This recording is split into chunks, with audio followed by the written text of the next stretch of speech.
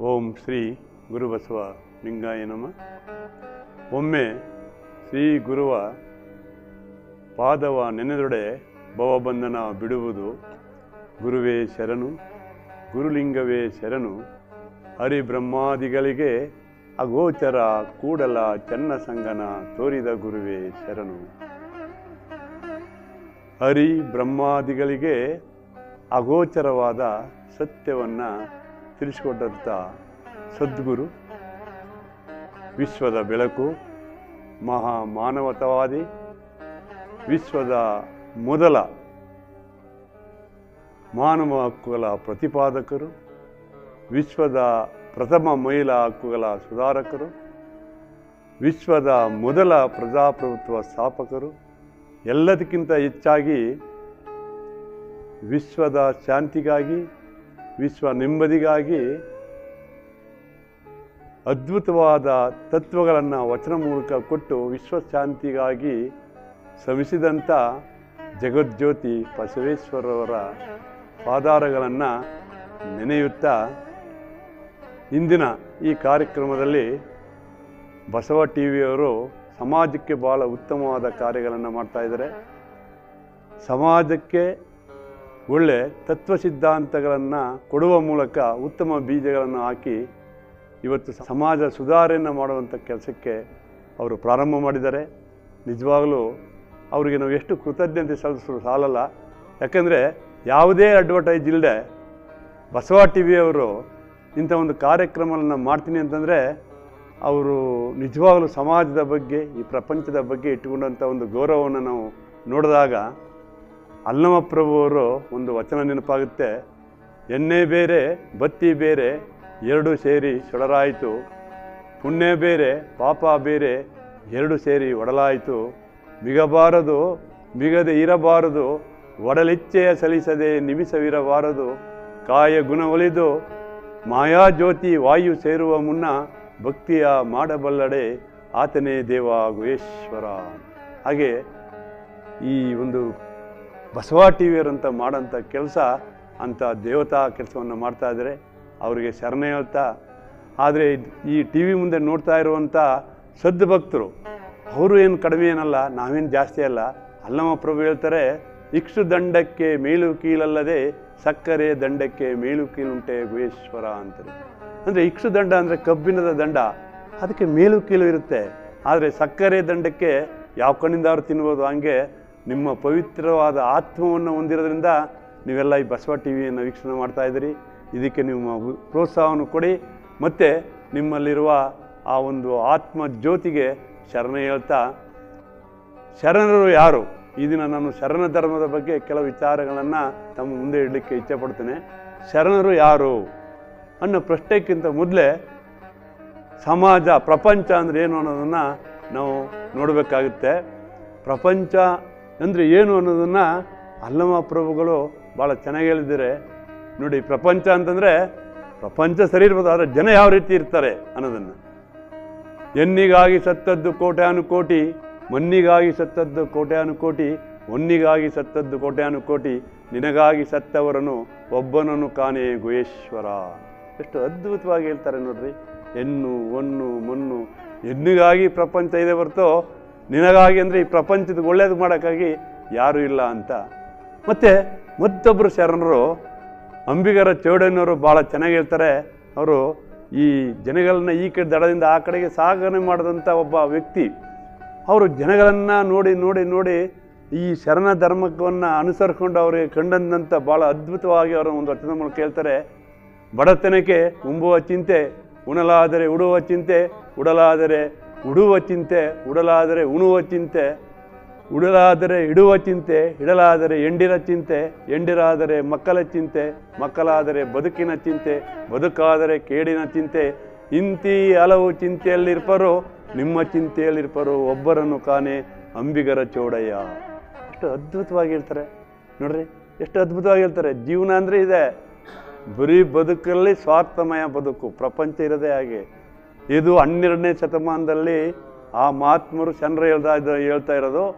ಅದನ್ನು ಇಪ್ಪತ್ತನೇ ಶತಮಾನದಲ್ಲಿ ಶರಣ ಡಿ ವಿ ಜಿಯವರು ಹೇಳ್ತಾರೆ ಜಗವೇನದರ ಗುರಿಯೇನು, ಪರಿಯೇನು, ಬರಿ ಬಲಸು, ಪರಿ ಪರಿಭ್ರಮಣೆ ತಿರಿ ತಿರುಗಿ ಹೊಟ್ಟೆ ಉರಿಕೊಳ್ಳುವ ಖಗಮುರುಗಗಳಿಗಿಂತ ನರದೇನು ಸಾಧಿಪನು ಮಂಕುತಿಮ್ಮ ಎಷ್ಟು ಅದ್ಭುತವಾಗಿ, ಪ್ರಪಂಚ ಅಂದ್ರೆ ಇಷ್ಟೇ. ಆ ಕಾಲದಿಂದ ಹನ್ನೆರಡನೇ ಶತಮಾನಕ್ಕೆ ಈ ಭೂಮಿಲಿ, ಈ ಭೂಮಿ ಇತಿಹಾಸ ನೋಡಿದ್ರೆ ಗೊತ್ತಾಗುತ್ತೆ, ಎಲ್ಲರೂ ಬರೀ ಅವರ ಸ್ವಾರ್ಥಕ್ಕೆ ಹೊಟ್ಟೆಪಾಡಿಗಾಗಿ ಬದುಕಿದರೆ ಹೊರತು ಈ ಸಮಾಜಕ್ಕೆ ಬದುಕಿದ, ಬದುಕಿದವರು ಭಾಳ ವಿರಳ. ಹಾಗಾಗಿ ಸಮಾಜ ಅಂದರೆ ಬರೀ ಸ್ವಾರ್ಥ, ಎಲ್ಲೆಲ್ಲೂ ಸ್ವಾರ್ಥ ಇದನ್ನು ನಾವೆಲ್ಲ ಕಾಣ್ತಾ ಇದ್ದೀವಿ. ಆದರೆ ಶರಣರು ಯಾರು? ಶರಣರು ಅಂದರೆ ಹಾಗಾಗಿ ಶರಣರಿಗೆ ವಿಶೇಷವಾದ ಮಾತು ಇರೋದು. ತಾವರೆಯ ಎಲೆಯ ಮೇಲಿನ ನೀರಿನಂತೆ ಅವರು ಸಂಸಾರದ ಒಳಗೆ ಇದ್ದು ಸಂಸಾರವನ್ನು ಸೋಕಿಸಿಕೊಳ್ಳದೆ ಸಮಾಜಕ್ಕೆ ಯಾರು ಒಳ್ಳೆಯದನ್ನು ಮಾಡ್ತಾ ಇದ್ದಾರೆ? ಅವರು ಶರಣರು. ಶರಣರು ಅಂದರೆ ತನ್ನ ಬಗ್ಗೆ, ತನ್ನ ಸ್ವಾರ್ಥದ ಬಗ್ಗೆ ಯಾವುದೇ ವಿಧವಾದ ಯೋಚನೆ ಇಲ್ಲ. ಸಮಾಜದ ಬಗ್ಗೆ ಯಾವಾಗಲೂ ಚಿಂತನೆ, ಪ್ರಪಂಚದ ಬಗ್ಗೆ ಚಿಂತನೆ, ಪ್ರಪಂಚದ ಶಾಂತಿ ನೆಮ್ಮದ ಬಗ್ಗೆ ಚಿಂತನೆ ಅವರಿಗೆ. ಹಾಗಾಗಿ ಆ ಶರಣರು ಯಾವಾಗಲೂ ಸಮಾಜದ ಬಗ್ಗೆ ಯೋಚನೆ ಮಾಡ್ತಾರೆ. ಅದನ್ನು ಶರಣರು ಯಾರು ಅನ್ನೋದನ್ನ ಮಹಾಜ್ಞಾನಿ ಚನ್ನಬಸವಣ್ಣವರು ಒಂದು ಕಡೆ ಹೇಳ್ತಾರೆ. ಬಯಸಿ ಬಂದದು ಅಂಗಭೋಗ, ಬಯಸದೆ ಬಂದದು ಲಿಂಗಭೋಗ. ಬೇಕೆಂಬುದು ಕಾಯಗುಣ, ಬೇಡೆಂಬುದು ವೈರಾಗ್ಯ. ಇವೆರಡನ್ನು ಅತಿಗೆಳೆದು ಭೋಗಿಸಬಲ್ಲಾತನೇ ಕೂಡಲ ಚೆನ್ನ ಸಂಗಮ, ದೇವ ನಿನ್ನ ಶರಣ. ಬಯಸಿ ಬಂದದು ಅಂಗಭೋಗ, ಬಯಸದೆ ಬಂದದು ಲಿಂಗಭೋಗ. ಅಂಗಭೋಗ ಅನರ್ಪಿತ, ಲಿಂಗಭೋಗ ಪ್ರಸಾದ. ಬೇಕೆಂಬುದು ಕಾಯಗುಣ, ಬೇಡೆಂಬುದು ವೈರಾಗ್ಯ. ಇವೆರಡನ್ನು ಅತಿಗಲೆದು ಭೋಗಿಸಬಲ್ಲ ಆತನೇ ಕೂಡಲ ಚೆನ್ನ ಸಂಗಮ ದೇವ ನಿಮ್ಮ ಶರಣರು. ಶರಣರು ಯಾವುದನ್ನು ಅತಿಯಾಗಿ ವೈರಾಗ್ಯನೂ ತರಲ್ಲ, ಅತಿಯಾಗಿ ಸಮಾಜಕ್ಕೆ ಉಂಟುಗಲ್ಲ, ಎಲ್ಲವನ್ನೂ ಪ್ರಸಾದ ರೂಪದಲ್ಲಿ ಸ್ವೀಕಾರ ಮಾಡಿ ಸಮಾಜಕ್ಕೆ ಒಳ್ಳೆ ಕಾರ್ಯವನ್ನು ಮಾಡೋಂಥದ್ದನ್ನು ನಾವು ಕಾಣ್ಬೋದು ಆದರೆ ಇವರು ಭಾಳ ವಿರಲ ಯಾಕೆ ವಿರಲ ಅಂತಂದರೆ ಅದನ್ನು ಮಹಾಜ್ಞಾನಿ ಚನ್ನಬಸವಣ್ಣವರು ಹೇಳ್ತಾರೆ ಬಟ್ಟ ಬಯಲೆಲ್ಲ ಗಟ್ಟಿಗೊಂಡರೆ ಸ್ವರ್ಗ ಮಧ್ಯ ಪಾತಾಳಕ್ಕೆ ತಾವು ಎಲ್ಲಿಯದೋ? ನೀಲ ಮೇಘ, ಪವಿತ್ರ ಜಲವೆಲ್ಲ ಮುತ್ತುಗೊಂಡರೆ ಸಪ್ತ ಸಾಗರಗಳಿಗೆ ಜಲವೆಲ್ಲಿಯದೋ? ವ್ಯಾಮೋಹ ಜೀವಿ ಮನುಜರೆಲ್ಲ ನೆಟ್ಟನೆ ಶಿವಜ್ಞಾನಿಗಳಾದರೆ ಭವಜ ಬೀಜ ಬೆಳೆಯುವುದೆಂತೋ? ಹಾಗಾಗಿ ಲಕ್ಷಕ್ಕೊಬ್ಬ ಭಕ್ತ, ಕೋಟಿಗೊಬ್ಬ ಶರಣ. ಎಷ್ಟು ಅದ್ಭುತವಾಗಿ ಹೇಳ್ತಾರೆ ನೋಡಿ. ಲಕ್ಷಕ್ಕೆ ಒಬ್ಬರು ಮಾತ್ರ ಭಕ್ತರು ಸಿಗ್ತಾರೆ ಕೋಟಿಗೊಬ್ಬರು ಮಾತ್ರ ಶರಣ ಸಿಗ್ತಾರೆ. ಹಾಗಾಗಿ ಇಂಥವರು ಸಮಾಜದಲ್ಲಿ ಬಹಳ ಕಡಿಮೆ ಇರ್ತಾರೆ. ಆದರೆ ಇಂಥ ವ್ಯಕ್ತಿಗಳು ಸಮಾಜದ ಬಗ್ಗೆ ಒಳ್ಳೆಯದು ಮಾಡಬೇಕು, ಸತ್ಯವನ್ನೇ ಹೇಳಿ ಅವರು ಮಾಡುವಾಗ ಅವರನ್ನು ದಮನ ಮಾಡುವ ಕೆಲಸವನ್ನು ಇತಿಹಾಸದುದ್ದಕ್ಕೂ ನಾವು ಕಾಣ್ತಾ ಇದ್ದೇವೆ. ಇಡೀ ಪ್ರಪಂಚದ ಇತಿಹಾಸವನ್ನು ನೋಡಿದಾಗ ಸತ್ಯವನ್ನು ಹೇಳಿದಂಥ ಸಮಾಜಕ್ಕೆ ಒಳ್ಳೆಯದನ್ನು ಬಯಸಿದಂಥ ವ್ಯಕ್ತಿಗಳನ್ನು ದಮನ ಮಾಡದಿರೋದು ಅವ್ರನ್ನ ಒಡೆದು ಸಾಯಿಸಿರೋದು, ಅವ್ರನ್ನ ಕೊಲೆ ಮಾಡಿರೋದು ನೇಣಾಕಿರೋದು ಎಲ್ಲವನ್ನೂ ನಾವು ಕಾಣ್ತಾ ಇದ್ದೀವಿ. ಹಾಗಾಗಿ ಇಂಥ ದಮನ ಕಾರ್ಯದಿಂದ ಈ ಸಮಾಜದಲ್ಲಿ ಅವರಿಗೆ ಒಂದು ನೆಲೆ ಇಲ್ಲದ ರೀತಿ ಭಾಳ ಪರಿತಪಿಸ್ತಾ ಇರ್ತಾರೆ. ಅದರಲ್ಲೂ ಹನ್ನೆರಡನೇ ಶತಮಾನದ ಪೂರ್ವದಲ್ಲಿ ಕೇವಲ ಬೆರಳೆಣಿಕೆಯಷ್ಟು ಜನ ದೇವರು, ಧರ್ಮ ರಾಜ, ಶಾಸ್ತ್ರ, ವರ್ಣಾಶ್ರಮ, ಕಟ್ಟುಪಾಡು, ಮೂಢ್ಯ ಇವೆಲ್ಲವನ್ನೂ ಜನಗಳ ಮೇಲೆ ಏರಿ ಜನಗಳನ್ನು ಬಹುಸಂಖ್ಯಾತ ಜನರನ್ನು ಪ್ರಾಣಿಗಳಿಂತ ಕಡೆಯಾದ ಜೀವನಕ್ಕೆ ಕಾರಣವಾಗಿದ್ದರು ಕೇವಲ ಬೆರಳಿಕೆಯಷ್ಟು ಜನ. ಅವರು ತಮ್ಮ ಸ್ವಾರ್ಥ ಸುಖಕ್ಕಾಗಿ ಮತ್ತು ಅವರ ವಿಕೃತ ಆಸೆಗಳನ್ನು ಪೂರೈಸಿಕೊಳ್ಳಕ್ಕಾಗಿ ಜನಗಳ ಮೇಲೆ ಕಟ್ಟುಪಾಡು, ಕಂದಾಚಾರಗಳನ್ನು ಏರಿ ಜನಗಳನ್ನು ಪ್ರಾಣಿಗೆ ರೀತಿಯಲ್ಲಿ ಅವರಿಗೆ ಯಾವುದೇ ಸೌಲಭ್ಯಗಳಿಲ್ಲದೆ ಪ್ರಾಣಿ ರೀತಿ ಬದುಕುತ್ತಾ ಇರೋದನ್ನು ಭಾಳ ಹೀನಾಯವಾಗಿ, ಮನುಕುಲವೇ ನಾಚಕ್ಕೆ ಪಡುವಂಥ ರೀತಿ ಆ ಜೀವನವನ್ನು ನಡೆಸಿದ್ದ ಜನವನ್ನು ನೋಡಿ ಬಹುಶಃ ಸೃಷ್ಟಿಕರ್ತನಾದ ಪರಮಾತ್ಮೆಗೆ ಬಹುಶಃ ಏನಪ್ಪ ನಾನು ಸಮಾಜಕ್ಕೆ ಈ ಜನಗಳನ್ನು ಸೃಷ್ಟಿ ಮಾಡಿ, ವಿಶೇಷವಾಗಿ ಈ ಮಾನವ ಪ್ರಾಣಿಯನ್ನು ಬುದ್ಧಿ ಕೊಟ್ಟು ನಾನು ಪ್ರಪಂಚಕ್ಕೆ ಕಲಿಸಿದರೆ ಇಷ್ಟು ಅಧೋಗತಿಗೆ ಈ ಸಮಾಜವನ್ನು ತಂದಿಟ್ಟಿದ್ದಾರಂಥ ಸೃಷ್ಟಿಕರ್ತನಿಗೆ ಬೇಜಾರಾಗಿರ್ಬೋದು. ಹಾಗಾಗಿ ಹನ್ನೆರಡನೇ ಶತಮಾನದಲ್ಲೇ ಆ ದೇವರೇ ಬಹುಶಃ ಬಸವಣ್ಣನ ರೂಪದಲ್ಲಿ ಹನ್ನೆರಡನೇ ಶತಮಾನದಲ್ಲಿ ಈ ದರೆಗೆ ಬಂದರು. ಈ ದರೆಗೆ ಬಂದರು ಬಸವಣ್ಣನವರು. ಚನ್ನಬಸವಣ್ಣವರು ಹೇಳ್ತಾರೆ, ಎಷ್ಟು ಅದ್ಭುತವಾಗಿ ಹೇಳ್ತಾರೆ, ಅರ ತನ್ನ ರೂಪನ ತೋರಬೇಕೆಂದೋ ಗುರು ರೂಪವಾಗಿ ಬಂದು ಮನಸ್ಥಳಕ್ಕೆ ಮಂತ್ರವಾದ ತನುಸ್ಥಳಕ್ಕೆ ಪ್ರಸಾದವಾದ, ಕರಸ್ಥಳಕ್ಕೆ ಲಿಂಗವಾದ, ಇಂತಿ ತ್ರಿವಿಧಕ್ಕೆ ತ್ರಿವಿಧ ರೀತಿ ಸಂಗನ ಬಸವಣ್ಣನಿಗೆ ಸಾಹಿತ್ಯವಾದ. ಸಂಗನ ಬಸವಣ್ಣನಲ್ಲಿ ಈ ಮೂರು ಗುಣಗಳಲ್ಲಿ ಸಾಹಿತ್ಯವಾದ ಯಾರು? ಆ ಸೃಷ್ಟಿಕರ್ತನಾದ ಪರಮಾತ್ಮ. ಇದನ್ನೇ ತುಂಬ ಅದ್ಭುತವಾಗಿ ಯಾವಾಗ ಬಸವಣ್ಣನವರು ಕಲ್ಯಾಣಲ್ಲಿ ನೆನೆಸಿ, ಅವರು ಬಸವಣ್ಣನ ಉದಯವಾಗಿ ಅವರು ಕಲ್ಯಾಣಕ್ಕೆ ಬಂದ ಮೇಲೆ ಅಲ್ಲಿ ಕೀರ್ತಿ ಯಾವ ಮಟ್ಟಕ್ಕೆ ಇಡೀ ಪ್ರಪಂಚದಾದ್ಯಂತ ಹಬ್ತು ಅಂದರೆ ಬಸವಣ್ಣನೆಂಬ ಜ್ಯೋತಿ ಜಗಜ್ಯೋತಿ ಶಿವನ ಒಂದು ಏನು ಒಂದು ಸೃಷ್ಟಿಕರ್ತನ ಒಂದು ದಿವ್ಯ ಶಕ್ತಿಯನ್ನು ಪಡೆದುಕೊಂಡು ಅಲ್ಲಿ ಶಿವನ ಶಿವನು ಕಲ್ಯಾಣವನ್ನು ಶಿವನ ಸ್ಥಾನವಾಗಿ ಮಾಡಿದಾನೆ ಅಂತ ತಿಳ್ಕೊಂಡು ದೇಶದ ಶುದ್ಧಗಳಕ್ಕೂ ಪ್ರಪಂಚಾದ್ಯಂತದಿಂದ ಜನ ಬರ್ತಾರೆ. ಬಹುಶಃ ನೀವು ಕೇಳ್ತಾ ಇರ್ಬೋದು. ಕಾಶ್ಮೀರದಿಂದ ಭೂಪಾಲ ರಾಜ ರಾಜರು ಬರ್ತಾರೆ ಕಲ್ಯಾಣಕ್ಕೆ. ಮರುಳಶಂಕರ ದೇವರು ಆಫ್ಘಾನಿಸ್ತಾನದಿಂದ ಬರ್ತಾರೆ. ಇದೇ ರೀತಿ ಎಲ್ಲ ಹಿಂದೂಸ್ತಾನದ ಎಲ್ಲ ಕಡೆಯಿಂದ ಅನೇಕ ಶರಣರು ಕಲ್ಯಾಣಕ್ಕೆ ಬರ್ತಾರೆ. ಕಲ್ಯಾಣ ಬಸವಣ್ಣನವರ ಕೀರ್ತಿಯಿಂದ ಅದು ಒಂದು ಶಿವಲೋಕವಾಗಿ ಮಾರ್ಪಡುತ್ತೆ. ಅದನ್ನು ಬಸವಣ್ಣನನ್ನು ಭಾಳ ಹತ್ತಿರದಿಂದ ಬಲ್ಲ ಚನ್ನಬಸವಣ್ಣವರು ಭಾಳ ಚೆನ್ನಾಗಿ ಹೇಳ್ತಾರೆ. ಮಧ್ಯ ಲೋಕವೆಂಬುದು ಶಿವಲೋಕವೆಂಬುದಾಗಿ ನಿಚ್ಚೆನೈಕೆ ಆಯಿತು. ದೇವ, ನೀವು ಕಲ್ಯಾಣಕ್ಕೆ ಇಳಿದು ಬಂದಲ್ಲಿ ಸತ್ಯ ಶರಣರ ಪಾವನವ ಮಾಡಲೆಂದು, ಸತ್ಯ ಶರಣರ ಪಾವನವ ಮಾಡಲೆಂದು ಬಂದಿರೆ ಜನ್ಮದಲ್ಲಿ ಬಂದಿರೆ ಜನ್ಮದಲ್ಲಿ ಎನ್ನಬಹುದೇ? ಮೃತ್ಯಂಗೆ ಕರ್ತುವಿನ ರೂಪ ಬಂದಲ್ಲಿ, ಆ ಕರ್ತುವಿನ ನರಸಿ ನಿಂದಲಲ್ಲ ಸತ್ಯ ಸದಾಚಾರವನ್ನರಡಿ ಮಧ್ಯರ ಪಾವನವ ಮಾಡಲೆಂದು ನಿಜಲಿಂಗ ಸಮಾಧಿಯಲ್ಲಿ ನಿಂದವರು ನೀವಲ್ಲದೆ ಮತ್ತಾರು ಏಲ. ನಿಮಗೆ ಭವ ಉಂಟೆಂದು ಮನದಲ್ಲಿ ಹಿಡಿದರೆ ಕೂಡಲ ಚನ್ನ ಸಂಗಯನ ಸಾಕ್ಷಿಯಾಗಿ ನಿಮಗೆ ಭವ ಉಂಟೆಂದು ಮನದಲ್ಲಿ ಹಿಡಿದರೆ ಕೂಡಲ ಚೆನ್ನಯನ ಚನ್ನ ಸಂಗನ ಪಾದ ಸಾಕ್ಷಿಯಾಗಿ ಬಸವಣ್ಣನ ಪಾದ ಸಾಕ್ಷಿ ಅಂದರೆ ಶರಣರಿಗೆ ಎಷ್ಟು ಅದ್ಭುತವಾದ ಚಿಂತನೆ ಹೇಳಿದರೆ ಇವಾಗ ನಮ್ಮ ಭಾರತ ದೇಶದ ಅಥವಾ ಪ್ರಪಂಚದ ಯಾವುದೇ ಒಂದು ಭಾಗದಲ್ಲಿ ನೋಡಿದ್ರೆ ಈ ಕರ್ತುವಿನ ನಿಲುವು ಕರ್ತುವಿನ ರೂಪ ಯಾವ ರೀತಿ ಇದೆ ಅಂತೆ, ಆ ಭಕ್ತನಿಗೆ ಯಾವ ರೀತಿ ಅದನ್ನು ಬರುತ್ತೆ, ಯಾವುದು ಆ ಕರ್ತುವಿನ ನಿಲುವು ಬಂದಾಗ ಏನು ಮಾಡ್ತಾರೆ, ನಮ್ಮಲ್ಲಿ ನೀವು ನೋಡ್ಬೋದು ಮುನ್ನೂರು ಎಷ್ಟು ನೂರಾರು ಕೋಟಿ ದೇವತೆಗಳನ್ನು ಮಾಡ್ಬಿಡ್ತಾರೆ ಇಂಡಿಯಾದಲ್ಲಿ. ಯಾಕಂದರೆ ತಮಗೆ ಯಾವ ರೀತಿ ಇಷ್ಟ ಬಂತು ಆ ರೀತಿ ಹೇಳಿದ್ದಾರೆ ಮೋಡ್ಯಗಳು ತುಂಬಿದ್ದಾರೆ. ಹಾಗಾಗಿ ನಮ್ಮ ದೇಶದಲ್ಲಿ ನೂರಾರು ದೇವರುಗಳು ಸೃಷ್ಟಿಯಾಗಿ ಈ ದೇಶದಲ್ಲಿ ಒಗ್ಗಟ್ಟೂ ಇಲ್ಲ, ಮತ್ತು ಆ ದೇವರ ಬಗ್ಗೆ ಸ್ಪಷ್ಟವಾದ ನಿಲುವನ್ನು ಯಾರು ಕೊಟ್ಟಿಲ್ಲ. ಯಾಕಂದ್ರೆ ಅವರಿಗೆ ಗೊತ್ತಿಲ್ಲ ಗೊತ್ತಿರ್ತಾನೆ ಕರೆಕ್ಟಾಗಿ ಕೊಡ್ತಾರೆ. ಮಾರಿ ಮಸ್ತಿ ಅಂತೇಳಿ ಕಲ್ಲವ ಬುಡ್ಡವ ಎಲ್ರಿಗೂ ಒಂದೊಂದು ಒಂದೊಂದು ಒಂದೊಂದು ಇದಕ್ಕೆ ಒಂದೊಂದು ಪಂಗಡಕ್ಕೆ ಒಂದೊಂದು ದೇವರು ಕೊಟ್ಟು ಆ ದೇವರ ನಿಲುವು ಇಲ್ಲದೆ ಅವರಿಗೆ ಮೂಡ್ಡೆಗಳನ್ನು ತುಂಬಿ ಮೂಡ್ಡೆಗಳ ಆಚರಣೆ, ಕಂದಾಚರಣೆ ಜಾಸ್ತಿಯಾಗಿ ಸಮಾಜದಲ್ಲಿ ಅಧೋಗತಿಗೆ ಹೋದದನ್ನು ನಾವು ಕಾಣ್ಬೋದು ಆದರೆ ಬಸವಣ್ಣ ಮತ್ತು ಬಸವಾದಿ ಶರಣರು ಶರಣ ಸಾಹಿತ್ಯವನ್ನು ಅಥವಾ ದೇವರ ಸ್ಪಷ್ಟ ಕಲ್ಪನೆಯನ್ನು ದೇವರ ಕಲ್ಪನೆ ಯಾವ ರೀತಿ ದೇವರ ಸ್ವರೂಪಯಾಗಿದೆ ಅನ್ನೋದನ್ನು ನಿಜವಾಗಿ ಕೊಟ್ಟಂಥವರು ಬಸವಾದಿ ಶರಣರನ್ನು ನಾವು ಕಾಣ್ಬೋದು. ಏನು? ನಿಜಲಿಂಗ ಸಮಾಧಿಯಲ್ಲಿ ನಿಂತವರು. ನಿಜಲಿಂಗ ಸಮಾಧಿಯಲ್ಲೇ ಅಂದರೆ ದೇವರ ಸ್ವರೂಪವಾಗಿ ನಿಂತು ಜನಗಳಿಗೆ ಯಾವುದೇ ಮೌಢ್ಯಗಳನ್ನು ಕೊಡಲಿಲ್ಲ. ದೇವರ ಸ್ವರೂಪವನ್ನು ಹೇಳಿದಂಥವರು ಬಸವಾದಿ ಶರಣರು.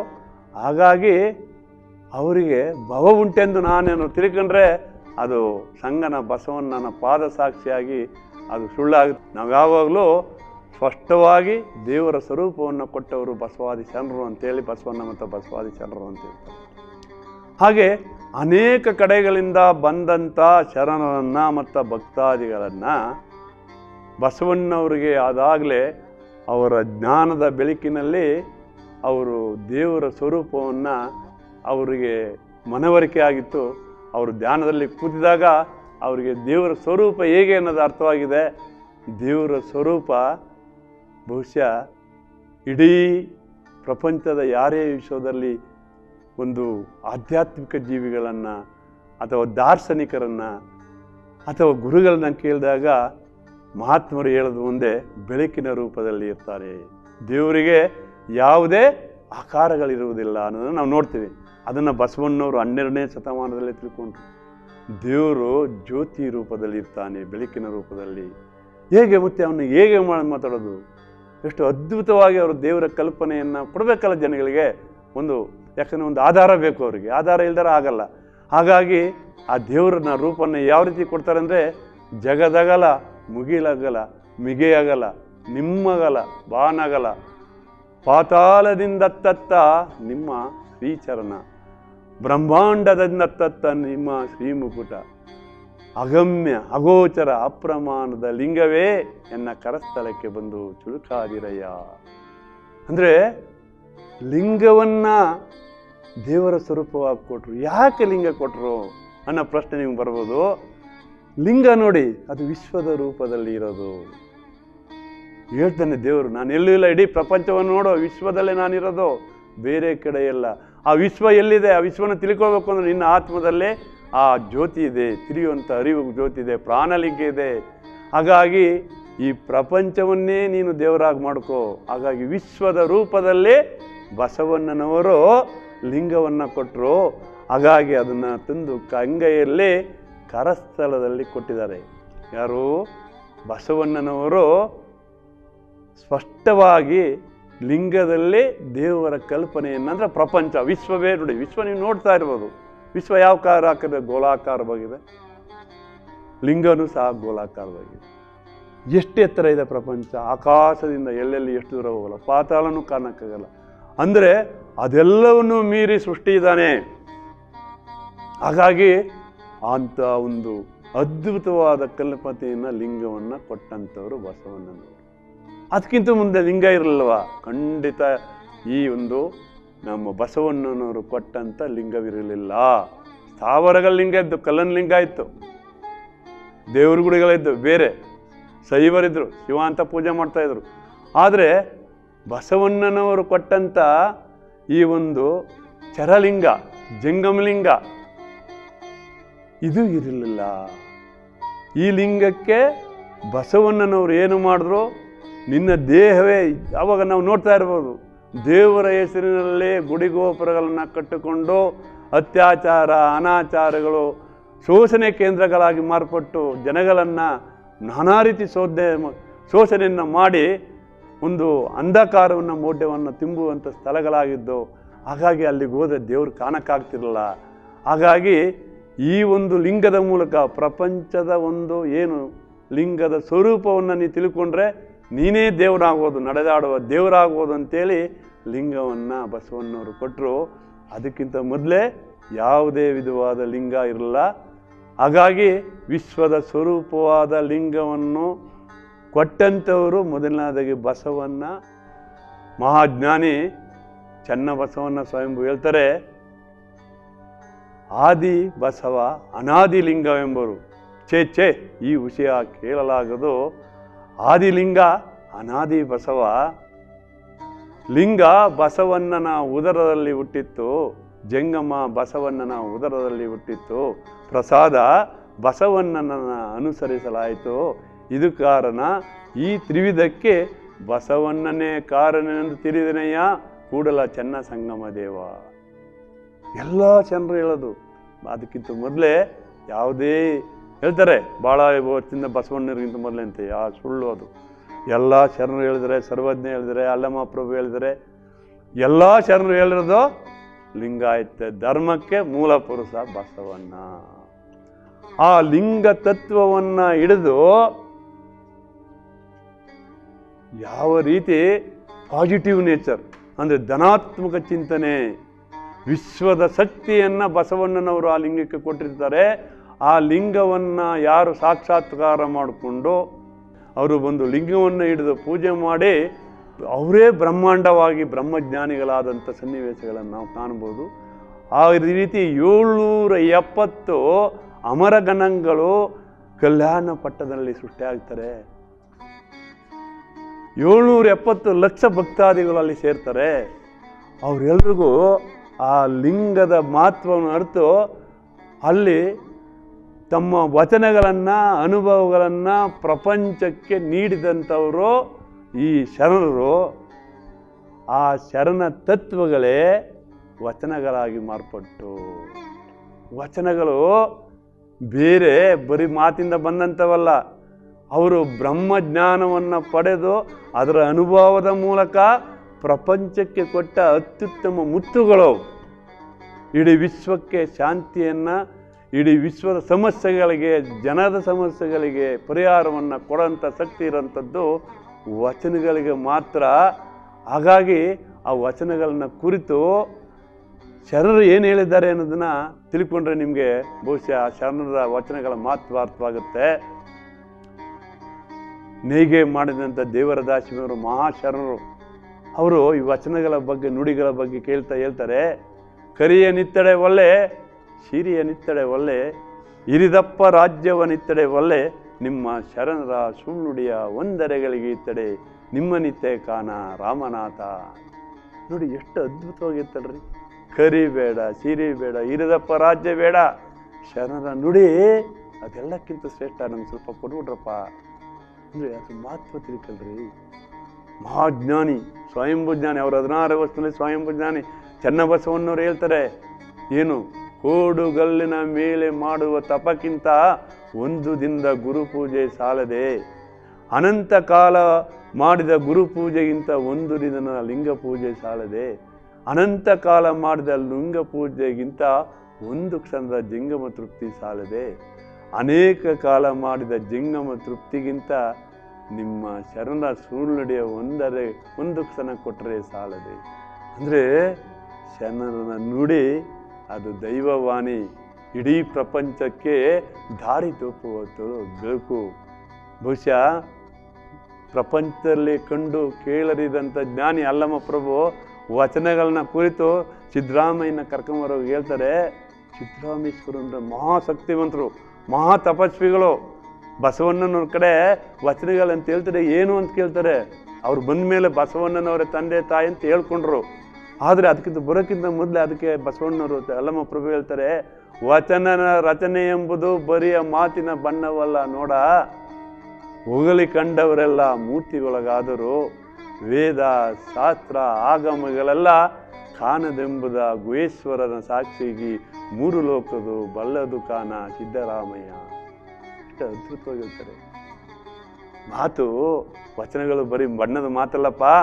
ವೇದ, ಶಾಸ್ತ್ರ, ಆಗಮ, ಎಲ್ಲ ಶಾಸ್ತ್ರಗಳು ಏನು ಕಾಣಲ್ಲ ಅಂತಿದ್ದೋ ಭಗವಂತನ ಸ್ವರೂಪನ ಅದನ್ನ ತೋರಿಸ್ತದ್ದು ವಚನಗಳ ಕಣಪ್ಪ.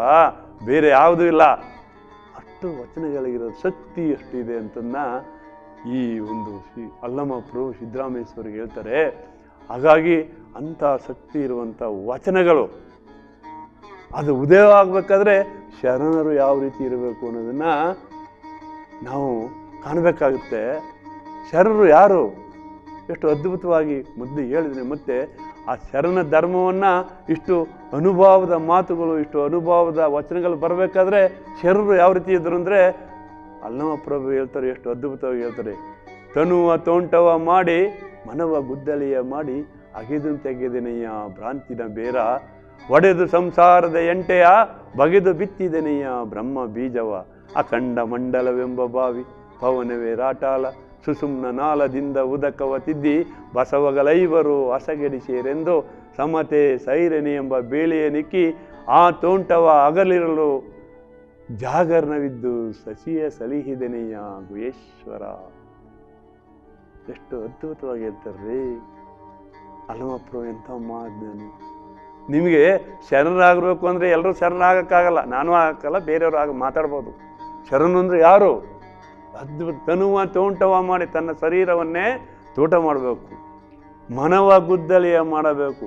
ಅಗಿದು ತೆಗೆದನೆಯ ಭ್ರಾಂತಿನ ಬೇರು ಅಂತಂದರೆ ಶತ ಶತಮಾನಗಳಿಂದ ತುಂಬಿದ ದೇವರ ಕಲ್ಪನೆಯನ್ನೇ ವಿಕೃತವಾಗಿ ತುಂಬಿಕೊಂಡ ತುಂಬಿಕೊಂಡಂಥ ಈ ಒಂದು ಮೋಡ್ಯ ಈ ದೊಂಕು ಅಂಕುಗಳನ್ನು ಏನು ಅಗೆದ ಭ್ರಾಂತಿಯ ಬೇರುಗಳನ್ನು ತೆಗೆದಾಗಬೇಕು.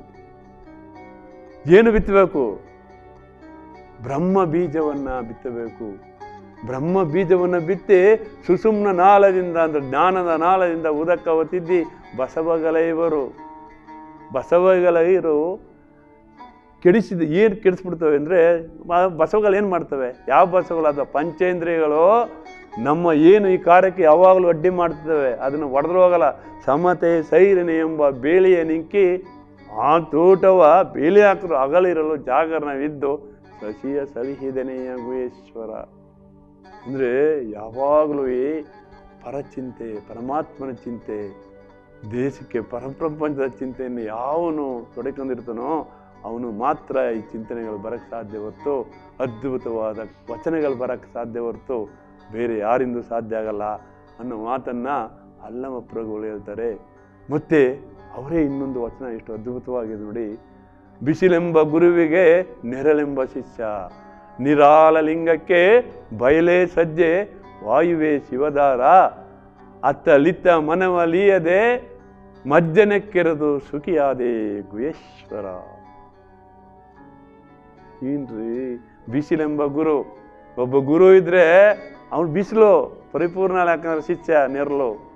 ನಾನೇ ಜಾಸ್ತಿ ನೀನು ಕಡಿಮೆ ನೀನು ನೀನು ಕಡಿಮೆ ನಾನೇ ಗುರು ಅನ್ನೋ ರೀತಿ ಅವರಿಗೆ ಪರಮಾತ್ಮನ ನಿಜವಾದ ತತ್ವ ಸಿದ್ಧಾಂತ ಅರ್ಥ ಆಗಲ್ಲ. ನಿಜವಾದ ಗುರು, ನಿಜವಾದ ಶರಣಯ್ಯನಿಗೆ ಬಯಲೇ ಸಜ್ಜೆ ನಿರಾಲ ಲಿಂಗಕ್ಕೆ ಬಯಲೇ ಸಜ್ಜೆ. ವಾಯುವೇ ಶಿವದಾರ, ಗಾಳಿನೇ ಶಿವದಾರ. ಬೆಳಕೆ ಸಿಂಹಾಸನ, ಅತ್ತಲಿತ್ತ ಮನವಲಿಯದೆ ಮಜ್ಜನಕ್ಕೆ ಯಾವಾಗಲೂ ಅದನ್ನ ಜ್ಞಾನನೇ, ಆ ಪರಮಾತ್ಮನೇ ಜ್ಞಾನ ಮಾಡ್ತಾ, ಮಾಡಿದವನು ಮಾತ್ರ ಶರಣಾಗಲಿಕ್ಕೆ ಸಾಧ್ಯ. ಬೇರೆಯವರಿಂದ ಆಗಲ್ಲ. ಆ ರೀತಿ ಎಲ್ಲ ಮಾಡಿ ಮಾಡಿದಂಥವ್ರ ಮಾತು ಯಾವ ರೀತಿ ಇರುತ್ತೆ ಅಂತಂದರೆ, ಏನು ಶರಣರ ಮಾತು ಯಾವ ರೀತಿ ಇರುತ್ತೆ ಅಂದರೆ, ಬಹುಶಃ ಯಾರು ಕೊಟ್ಟಿರೋಂಥ ಒಂದು ವಚನವನ್ನು ಅಲ್ಲಮ ಪ್ರಭು ಕೊಡ್ತಾರೆ. ಮಾತೆಂಬುದು ಜ್ಯೋತಿರ್ಲಿಂಗ. ಮಾತು ಜ್ಯೋತಿರ್ಲಿಂಗ, ಸ್ವರವೆಂಬುದು ಪರತತ್ವ. ತಾಳ ಲೋಟ ಸಂಪುಟವೆಂಬುದು ನಾದ ಬಿಂದು ಕಲಾತೀತ. ಗುಹೇಶ್ವರನ ಶರಣರು ನುಡಿಸು ಸೂತಕಿಗಳಲ್ಲ ಮರುಳೆ. ಎಷ್ಟು ಅದ್ಭುತವಾಗಿ ಹೇಳ್ತಾರೆ ನೋಡಿ. ಭಕ್ತರೆ, ಎಷ್ಟು ಅದ್ಭುತವಾಗಿ ಹೇಳ್ತಾರೆ. ಮಾತೆಂಬುದು ಜ್ಯೋತಿರ್ಲಿಂಗ. ನಾವೆಲ್ಲ ಮಾತಾಡ್ತೀವಿ. ಜನಗಳೆಲ್ಲ ನೋಡ್ತೀವಿ ರಾಜಕೀಯ, ಅದು, ಆ ಪಕ್ಷ ಜನಗಳೆಲ್ಲ ಏನು ಮಾತಾಡ್ತಾರೆ. ಆದರೆ ಶರಣರ ದೃಷ್ಟಿಯಲ್ಲಿ ಮಾತು ಜ್ಯೋತಿರ್ಲಿಂಗ. ಜ್ಯೋತಿರ್ಲಿಂಗ ಅಂದರೆ ಬೆಳಕಿನ ಲಿಂಗ ಅದು. ಪ್ರಪಂಚಕ್ಕೆ ಬೆಳಕನ್ನು ನೀಡುವಂಥ ಮಾತಾಗಿರ್ಬೇಕು ಅದು. ಸ್ವರವೆಂಬುದು ಪರತತ್ವ. ಇಲ್ಲೇ ಸ್ವರ ಸ್ವರ ಬರ್ತದ್ದು ಪರತತ್ವ. ಪರಮಾತ್ಮ ನಮ್ಮನ್ನು ಯಾಕೆ ಸೃಷ್ಟಿ ಮಾಡೋದು ಕಲಿಸ್ತಾನದ? ಆ ತತ್ವವನ್ನು ಹೇಳ್ಕೊಡೋದು ಪರತತ್ವ. ಹಾಗೆ ಗುಹೇಶ್ವರನ ಜನರು ನುಡಿದ ಸೂತೆ ನುಡಿದು ಮಾತಾಡಿ, ಅವರು ಸೂತಕಿಗಳಲ್ಲಪ್ಪ, ಸತ್ಯವನ್ನು ಹೇಳ್ತಾರೆ. ಹಾಗಾದರೆ ಅಲ್ಲಮ್ಮ ಪ್ರಭು ಕಣ್ಣು ಬಿಟ್ಟು ನೋಡಾಗ ಜನಗಳು ಕಾಣ್ತಾರೆ ಏನು ಅನಿಸುತ್ತೆ ಪ್ರಪಂಚವನ್ನು ನೋಡಿ ಅವ್ರಿಗೆ ಅಂತಂದರೆ ಬಹಳ ಆಶ್ಚರ್ಯ ಆಗುತ್ತೆ. ಏನಪ್ಪ ಜನಗಳು ಯಾವ ರೀತಿ ಈ ರೀತಿ ಬದುಕ್ತಾ ಇದ್ದಾರಲ್ಲ, ಪ್ರಾಣಿಗಳ ರೀತಿ ಬದುಕ್ತಾ ಇದ್ದಾರಲ್ಲ. ನಿಜವಾಗ್ಲೂ ಅವರು ಈ ಜನನ ನೋಡಿದಾಗ ಇವರಿಗೆ ಗುಹೇಶ್ವರ ಲಿಂಗ ಇಲ್ವೇ ಇಲ್ವಾ ಅಂತ. ಉದಯ ಮುಖದಲ್ಲಿ ಹುಟ್ಟಿದ ಪ್ರಾಣಿಗಳು ಅಸ್ತಮಾನಕ್ಕೆ ಅಳಿದವಲ್ಲ. ಅಂದಂದಿಗೆ ಗತಿ ಘಟಿಸಿದ ಜೀವಿಗಳು ಬಟ್ಟ ಬಂದ ಬಟ್ಟೆಯಲ್ಲಿ ಹೋದವಲ್ಲ. ಗುಹೇಶ್ವರನೆಂಬ ಲಿಂಗವು ಆರಿಗೂ ಇಲ್ಲವಯ್ಯ.